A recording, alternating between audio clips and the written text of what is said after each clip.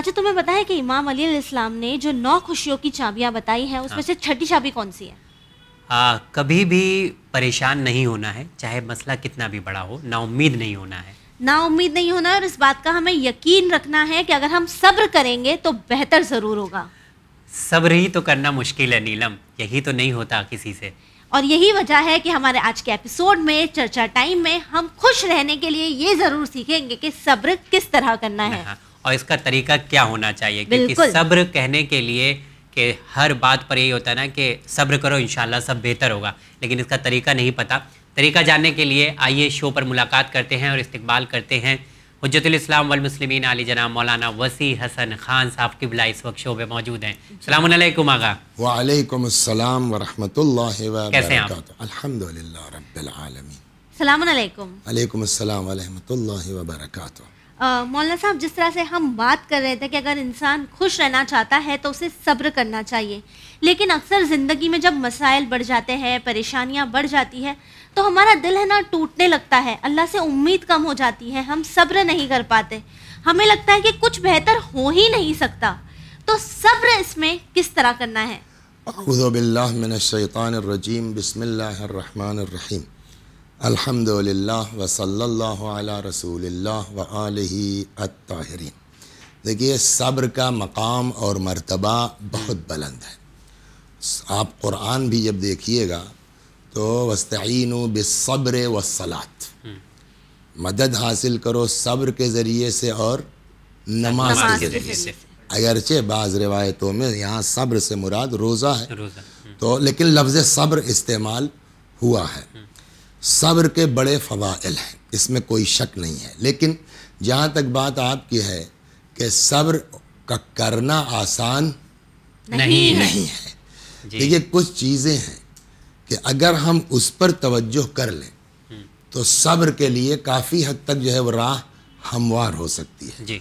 कुछ कुरान ने भी रास्ता बताया है। जी। और उसके अलावा भी रिवायतों में इसके रास्ते मौजूद हैं। ओके। पहली चीज़ जो सब्र के लिए कही जा सकती है वो यही है जो इससे पहले भी किसी उसमें आ चुका है इन्ना लिल्लाह व इन्ना इलैहि राजिऊन। क्या मतलब हुआ इन्ना लिल्लाह व इन्ना इलैहि राजिऊन? हम सब अल्लाह के उसी की तरफ़ पलट के जाने वाले हैं। यानी क्या मतलब? हमारा कुछ नहीं है। जी। पहला तरीक़ा सब्र यह है कि आदमी जहन से ये निकाल दे कि हमारा भी कुछ है इस दुनिया में। जी। माल दौलत जायदा हत्या हम खुद। तो फिर किसका है? का उसका है। हम क्या हैं? का अमानतदार हो। तो पहला तरीक़ा सब्र यह है कि मिल्कियत का तसव्वुर निकल जाए। जहन से। जहन से। अमानतदारी का तसव्वुर पैदा हो जाए। बिल्कुल बिल्कुल तो इंसान के लिए फिर उसका जो लाजमी नतीजा है कि न मिलने की खुशी है न जाने का गम। न जाने का गम है। तो पहला तरीका यह है सब्र का कि इंसान अपने जहन से ये बात निकाल दे कि हम किसी चीज़ के मालिक हैं। बिल्कुल। जो कुछ है वो उसका है। और जब ये तस्वुर आ जाएगा मसलन मिसाल के तौर के ऊपर हमने आपको पचास रुपए दे दिए। जी। पचास हज़ार दे दिए। ये काहे के लिए हम रखे रहो बताएँगे। दो महीने बाद हमने फ़ोन किया कि साजिद जो है इस पचास हज़ार में से पच्चीस हज़ार जो है वो इनको दे देना जो है जी। आपको तकल्लुफ होगा देने में? आपका तो नहीं है ना? बिल्कुल नहीं हमें इतने दिन से इसको हमको रखना पड़ा चलो यार झंझट खत्म हुई। दे दे। तो जिस दिन अमानत का तस्वुर होगा हाँ। तो उस दिन आपको खर्च करना भी आसान हो जाएगा। इसलिए कि जिसका माल है जिसकी चीज़ है हमारे पास अमानत जो कह रहा हम वहाँ उसको खर्च करते जाएँगे। तो पहला तरीका है सब्र क्या है? कि अमानत। अमानतदारी। कि हम मालिक नहीं हैं। हमारे पास जो है हम अमानतदार हैं। दूसरा तरीका है सब्र यह है कि जो उस दिन भी मैंने शायद किसी उसमें बताया कि आदमी के जहन में ये हो कि जो कुछ भी हमारे साथ हो रहा है वो हमारा अल्लाह देख रहा है। बिल्कुल। जिसको सवाब देना है जिसको अजाब करना है हमारे इन सारे मसाइल को देख रहा है। और इसको अमली तौर पर हमारे इमाम हज़रत सैदुलशहदा ने करबला में बाकायदा फरमाया भी है। अच्छा आप बताइए कि 18 साल का बेटा किसी का मर जाए सब्र आसान है उसके लिए? बहुत मुश्किल। बत्तीस साल का भाई किसी का जो है वो शहीद हो जाए आसान है उसके लिए। लेकिन वो सब रिवायत कहते हैं कुल लमशतल वक्त अशरक वजहुल हुसैन। जैसे जैसे मुसीबत बढ़ती जाती थी इमाम का चेहरा चमकता जाता था। इसके पीछे रास क्या है? इसके पीछे सबब क्या है? सबब वही है कि मौला इमाम हुसैन सलाम इनको अपनी मिल्कियत नहीं समझते थे ना। अमानत खुदा है। जैसे जैसे वापस करते जाते थे, वैसे वैसे इतमान बढ़ता जाता था। एक, दूसरे, खुद इमाम ने फरमाया है हवन अलैया बिमा नजल बी फ़िन बेन जितनी मुसीबतें नाजिल होना है मेरे ऊपर, हो लें। सब आसान है। क्यों? इसलिए कि मेरे अल्लाह की नज़रों के सामने है। जी। तो दूसरा तरीक़ा सब्र क्या हुआ? ये यकीन कि हमारा अल्लाह देख रहा है। सब्र आसान है। तीसरा तरीका सब्र। आप तारीख पे नज़र डालिए ना जी। कि हम पर जो आफत आई है हम हैं क्या? हमसे बड़े बड़े लोग हम्म, हमसे ऊँचे ऊँचे लोग उनके ऊपर हमसे बड़ी मुसीबतें आई हैं। मसलन फ़र्ज़ कीजिए अल्लाह महफूज रखे सबको। कोई बेचारी या लड़की है बेवा हो गई। तो टेंशन की बात है ना। कैसे सब्र करेगी? उसका जवाब यह कि देखो तुम रुबाब से बढ़ के नहीं हो। तुम लैला से बढ़ के नहीं हो। तो एक तरीक तीसरा तरीका यह है। यह तरीका अल्लाह ने अपने नबी को सिखाया था समझाया था। कि जब लोग पैगंबर को जो है वो परेशान करते थे तो कुरान में आयत आई वलकदस्तुहज़रसुलम मिन कबलिक। पैगंबर आपसे पहले वाले रसूलों का भी मज़ाक उड़ाया गया। कोई आप नहीं है। नए तो तीसरा तरीका यह कि हम पर कोई आफत बला आती है। तो हम ये देखें कि हमसे बड़े लोग हमसे अच्छे लोग हमसे बड़ी मुसीबतों में गिरफ़्तार हुए हैं। गिरफ़्तार हुए हैं और वो अपने आप को उसमें सुरखरू होकर निकले हैं। तीन तरीका हुआ। चौथा तरीका जो है इसमें बेहतरीन ये होगा कि आदमी कुरान पर देखे। क्या सवाब कुरान मजीद ने दिया है? सब्र करने वालों को। सब्र करने वालों को।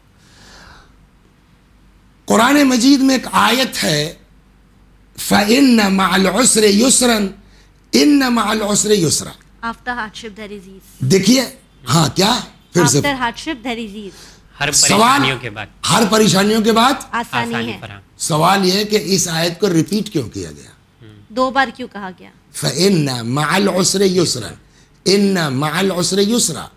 हम अभी यही मजलिस जो है वो कोरला में पढ़ करके फिर वही जा करके जो है वो अंधेरी में पढ़ दें तो कहेंगे अरे यार वही तो पढ़ दिया उन्होंने। रिपीट कर रहे हैं। रिपीट कर रहे हैं। कुरान सेम आयत रिपीट कर रहा है भाई। कोई वजह तो होगी। कोई तो वजह है। उसका जवाब यही है। फ़िन माल उसर उसर माने परेशानी तंगी। युसर उसका अपोजिट है यानी आसानी। उलमा और मुफसरीन हमारे कहते हैं ये रिपीटेशन इसीलिए हुआ है ताकि खुदा अपने बंदों को ये समझाए कि टेंशन मत लो। हर परेशानी के बाद दोहरी आसानी है। हर परेशानी के बाद डबल आसानी आसानी है। है। इसी चीज़ को किसी अरब शायर ने भी कहा है हाँ। कि इदा दाकत बिकत दुनिया तफक्कर फ़ी अलम नशरा जब दुनिया तुम्हारे ऊपर तंग हो जाए जी। तो सूरह अलम नशरा के ऊपर गौर करो। हाँ। इसलिए कि ये आयत कहाँ है? सूरह अलम अलम नशरा। में। इदा दाकत बिकत दुनिया तफक्कर फ़ी अलम नशरा। जब दुनिया तुम्हारे ऊपर तंग हो जाए तो सूरह अलम नशरा पे गौर करो। तो वहाँ देखोगे तुम कुरान में कि अल्लाह ने हर मुसीबत के बाद दोहरी आसानी। दोहरी दोहरी आसानी आसानी रखी। तो ये तस्वुर जिस दिन हो जाएगा उस दिन हमारे लिए सब्र करना आसान आसान हो जाएगा। तो मौलाना साहब आपने कई तरीके बताए हैं सब्र करने के। अब एक चीज़ है जो मैं जानना चाहता हूँ कि सब्र कब करना है किस मौके पर? एक मौका मैं आपको बताता हूँ कि मसलन मेरे ऊपर बहुत मुसीबत पड़ी है मेरा माल किसी ने ले लिया है। तो मैं तहरीम सलाम की ज़िंदगी पे भी अगर नज़र डालते हैं तो अपने हक का मुताला तो हम लोग कर सकते हैं ना? तो कर सकते सब्र का मतलब ये नहीं है हाँ, तो मैं कि आप अपने हक से आँख बंद कर लीजिए। तो मतलब- उसके सिलसिले में कते कलाम होता है आपका जी, जी, माजरत चाहते बात उसके सिलसिले में तो खुद हज़रत सिद्दीक ताहरा सलाम की ज़िंदगी हमारे लिए उसवा और नमूना है। जी। हाँ।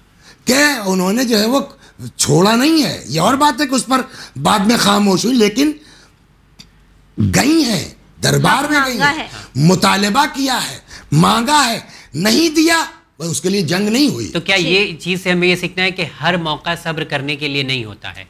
ये ये खिलाफ है सब्र नहीं आ, है हाँ, भाई। मतलब- मसला ये नहीं है जो आप कह रहे हैं हर मौका सब्र का नहीं होता।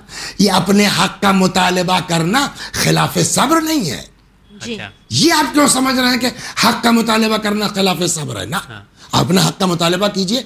अलबत्त उस मुतालबे में हद से तजावुज नहीं होना चाहिए। ओके जी अ, जिस तरह वरना हक का मुतालबा करना हमारा हक है। हाँ। जी। लेकिन कभी कभी ऐसा भी होता है ना नीलम मतलब जो सब्र का पैमाना होता है वो भी लबरेज हो जाता है। तो अब इंसान तो इंसान है हम तो अहले बैत की तरह नहीं कर पाएँगे ना। वही मैं बोल रहा हूँ कि मतलब इंसान है अगर कभी ना कभी कुछ हो जाता है तो फिर उसका तो कोई लेकिन ये जहन में रहे कि जो है वो फमन यामल मिसकाल ज़र्रतिन खैर यरा। वमन यामल मिसकाल ज़र्रतिन शर्र यरा बदले में ये नहीं कि साहब इन्होंने हमारा ये किया तो हम भी ये कर दें। अब वो नहीं कर तो फिर हम जो है अग्रेसिव अगर हुए तो फिर हम मुजरिम बन ईट का जवाब पत्थर से देना नहीं, नहीं, नहीं है। इस्लाम नहीं सिखाता वही साजिद एक हदीस मैंने भी पढ़ी थी जो मेरे जहन में आ रही है मौलाना साहब। हम अक्सर सुनते हैं कि ये कहा जाता है कि जुल्म के खिलाफ जितना देरी से उठोगे उतनी ही ज़्यादा कुर्बानियाँ देनी पड़ेगी।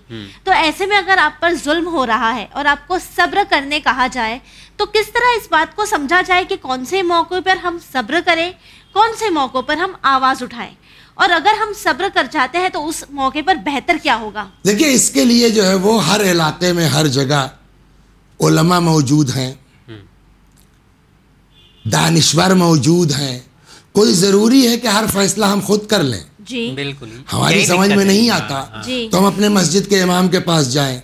हमारे कुनबे में ख़ानदान में पढ़े लिखे लोग हैं। डिस्कस करें। डिस्कस करें मशवरा करें। इसलिए कि रिवायत कहती है ये माँ ख्वाब मन इस्तखार व माँ नदम मन इस्तशार। जो काम मशवरे के साथ करता है है। वो कभी जो है वो नादिम और शर्मिंदा नहीं होता। तो आपको मौके के एतबार से नज़ाकत के एतबार से तब्दील होंगे हालात ना। तो वो अपने जो घर के इंटेलेक्चुअल लोग हैं पढ़े लिखे लोग हैं समझदार लोग हैं उनसे मशवरा करना भी। हम्म, लोगों की अकलों को अपनी अकल के साथ जोड़ो ना खुद क्यों कुल्ले अकल बने जा रहे हो? यानी मशवरा करके ये समझने की कोशिश करें मशवरा होना चाहिए सब्र हाँ, करना है या उस चीज़ का जो हमारे घर में सीनियर्स हैं जो हमारे घर में बुज़ुर्ग हैं बल्कि रिवायत यहाँ तक कहती है शेख फ़ी अहले का नबी फ़ी उम्मत घर में बुज़ुर्ग उसकी हैसियत उम्मत में नबी की तरह है। बिल्कुल तो इन बूढ़े बुज़ुर्गों क्यों छोड़े दे रहे हैं आप? जब सारा फैसला खुद करेंगे तो गच्चा तो खाएँगे ही नहीं बीस साल का लड़का है। तो मेरे ख्याल से मतलब एक चीज़ जो है हम लोग को सीखना पड़ेगा वो ये है कि गुस्सा हो या कोई और प्रॉब्लम हो सब्र करना सीखना पड़ेगा। अगर सब्र करना हर चीज़ की ट्रेनिंग है। हाँ हत्ता के सब्र की भी ट्रेनिंग करनी ट्रेनिंग है। तो ये कोई आसान नहीं है कि मतलब आपने सोचा और हो गया। इसके लिए थोड़ा सा मुश्किल होगी। मेहनत करनी पड़ेगी। मेहनत करने। आपका बहुत शुक्रिया आपका। व्यूअर्स मौलाना साहब ने आखिर में एक बहुत ही अच्छी बात कही कि हम जिस तरह हर चीज़ की ट्रेनिंग लेते हैं हर चीज़ में अपने आप को बेहतर बनाने की कोशिश करते हैं तो ज़िंदगी में हमें सब्र करना भी सीखना होगा। और सब्र एक ऐसी सवारी है जो अपने सवार को कभी गिरने नहीं देती। तो अगर हमारे पर मसाइल आ रहे हैं परेशानी आ रही है और अगर हम सब्र कर लें तो इमाम अली ने जिस तरह कहा कि बेहतर ज़रूर होगा और जब बेहतर होगा तो हम खुश भी ज़रूर होंगे। इन आपसे मुलाकात होगी हमारे अगले एपिसोड में और हम देखेंगे कि खुशियों के दरवाज़ों की सातवीं चाबी कौन सी है। इसी उम्मीद के साथ हमें दीजिए इजाज़त पर बने रहिए चैनल विन के साथ, पैगाम इंसानियत। शुक्रिया।